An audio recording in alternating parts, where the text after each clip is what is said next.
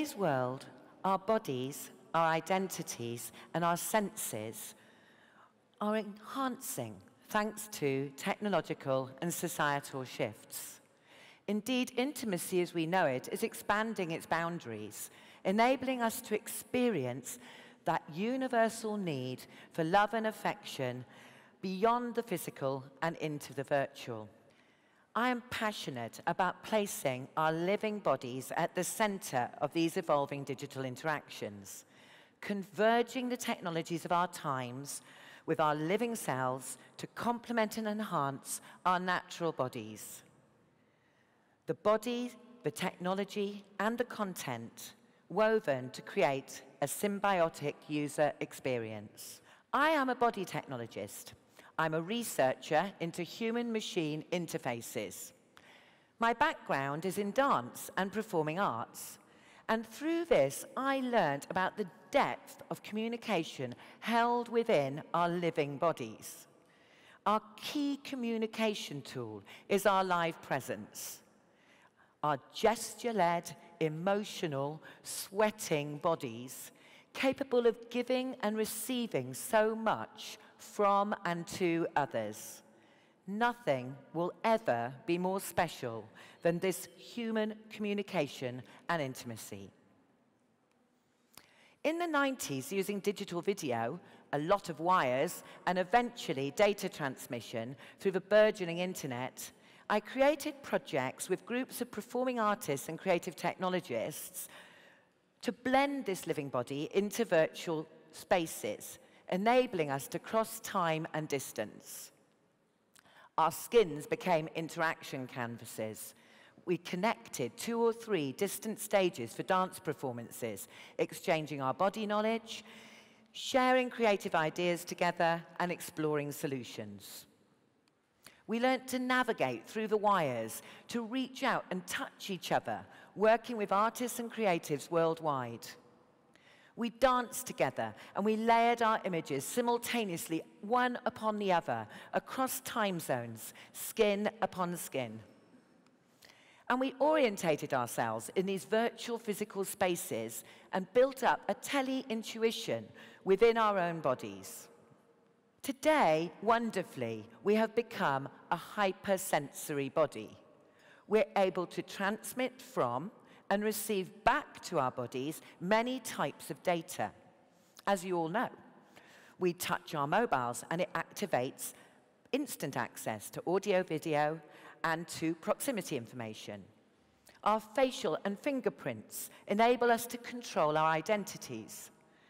And biofeedback through our fitness bands help us to monitor our health and fitness. Today, artists worldwide are experimenting with body data. This is an up-and-coming wearable called Tenth Sense. Biofeedback is created uh, from the sound of the muscle movements and the blood flow and the heartbeats, as well as from motion and temperature. The real-time data from these body outputs, as with our fitness bands, is used to create personalized sound and visuals, to activate environments, and to control software. Touch and feel and gesture environments enable us to move and feel light today, and we can feel heat and objects at a distance. This is a magical installation by Umbrellium, laser lights that you can draw around you like cloaks, the closest to a beam me up Scotty experience that I've ever had. And we can all have virtual and physical companions today anthropomorphizing ourselves into emotional journeys and adventures, avatars, representations of ourselves and others. Often, we never meet physically, and yet love and romance is, in gaming and virtual worlds is a growing activity. And robots, empathetic and emotional, they are regular stars of our sci-fi films, exploring both the positives and the negative sides of human-machine interaction. Here, this one, the blind robot, feels your face to familiarize itself with you, a projection of human-machine interfaces for the future.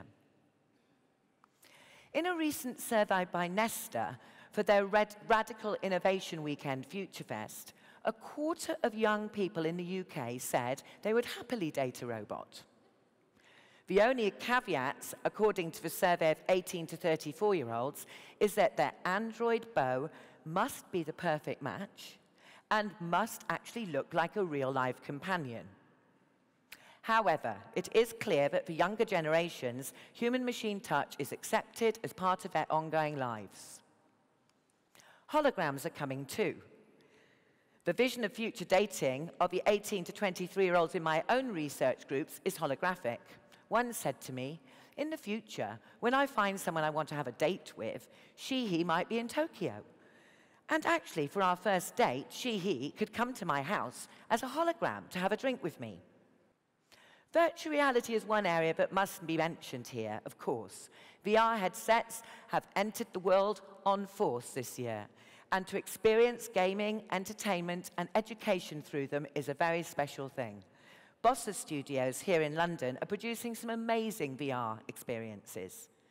However, my feeling is that these boxes on our heads are severely disembodying us, and they break us away from each other. I'm not at all convinced that the future of intimacy can happen in VR helmets. And I am concerned about the content outputs around intimacy in the VR world, already mainly in the form of traditional male-led porn. So as we examine the hypersensory body of the future, we realize there is even more coming into this convergence. In development today by creative technologists worldwide are gaze tech, where we move objects with our eyes, taste tech and smell tech, and caress tech, much needed for intimacy. So with now, with all these components coming into place, we are starting to ensure that the real living body is central towards this evolution of what can become tele-intimacy. So how do we really extend ourselves, though, into this virtual space? How do we actually get the deep eye contact that we need? How do we get the kind of caressing contact that we need for desire, for joy, and for passion? How do we collaborate with our living presence alongside virtual presence using our full bodies? The way we give pleasure to each other is rapidly transforming with some beautifully designed objects out there, many with connectivity that give us long distance link ups. The heartbeat pillows, the connected dildos, meaning that partners at a distance can continue to be intimate. If we email and text our partners and lovers daily, why not vibrate and pulse each other? When we feel the love, let's do it. And let's create sensational climaxes to our exchanges.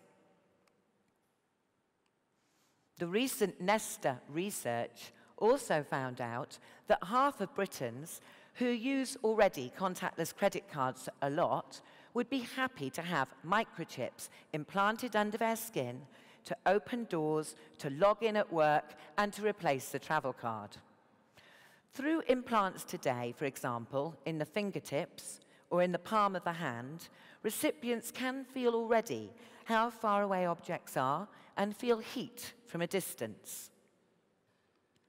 Implant specialists, such as Professor Kevin Warwick and his teams, know the materials that are good inside our bodies, such as platinum, iridium, silicon, and gold. They have a very good idea for experimentation of what these tiny little grains of rice, these little tiny implants, can do and where to position them in our bodies. So imagine the evolution of these tiny implants into our erogenous zones. Implants that connect you to your partner through your joint sensualities, enabling the body to be totally central to the interaction. And if we want to get away from physical objects, researchers such as Dr. Dan O'Hara are predicting a new type of sex toy, a new toy which actually uses programmable silicon-based gels. Each partner would apply this gel to themselves in the erogenous zones and would activate that and link it up into your whole sensual system. You could respond to each other through these connected gels, bespoke to your needs and to your partner, and you would feel and interact with each other's orgasms. So there's a lot of hope out there for the stretched and enhanced orgasm, maybe that type of orgasm that us humans have not even yet reached. And think about the benefits when people are working at a distance to their partners. So many people work in different countries from their families. And people who are immobile or disabled or actually choose to live independently and can still have wonderful companions and partnerships. Should this scenario become real in the future, then the ability to be intimate would be strengthened and relationships would be preserved, satisfying the needs and desires and dissipating loneliness and depression. I want to show you a short video now. This project, Me and My Shadow, is an art installation that we created and produced a few years ago. You enter a virtual world as a full virtual body with no wearables attached at all.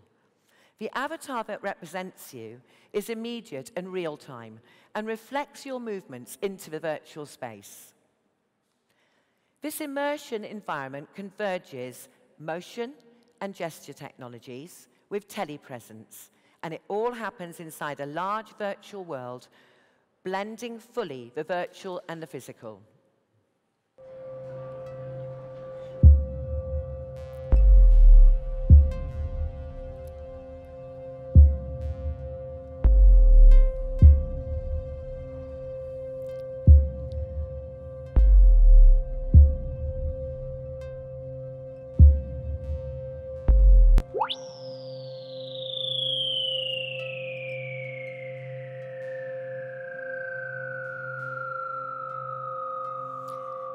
This is a multi-locational shared space, in this case with four country bases, enabling people to interact directly between London, Paris, Istanbul and Brussels.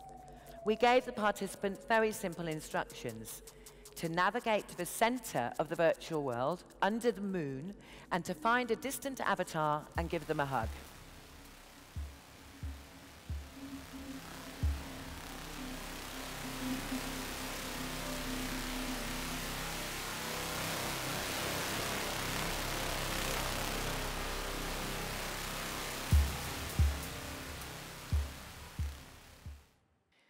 The Internet of Bodies is born out of the convergence of today's body technologies, and it's all there to enhance our sensual experiences. The aim of Body Data Space is to create spaces for belonging, trust, and for positive collaborations, and to make natural and intimate virtual physical exchange possible for many. We all have the choice about whether we want to pick up on this type of connectivity or not. For our intimate lives, it may not be needed. And that is your own choice. But ultimately, it's the content that matters. And for the next generations, why would hope that we would start through the content made to shift some of the ongoing negative attitudes to women and the objectification of women's bodies, and to open up the debate about gender fluidity, much needed if for today's generations, and move away from sexual violence and repression. So we need to widen our horizons here, and we need to enable a diversity of sexual content to be made by people from many different backgrounds. The Internet of Bodies focuses on enhancing our natural strengths of human performance. With the body at the center of these digital interactions, the entire body starts to become that digital interaction canvas of my dreams. So when you get home to your partner, enjoy your deep physicality, that undeniable special intimacy of skin upon skin. Yet fantasize about the future sensual body and perhaps maybe become creators of some of the new content that can make the world a more positive, intimate space. Content that will help fill generations to come with a positive future love. Thank you.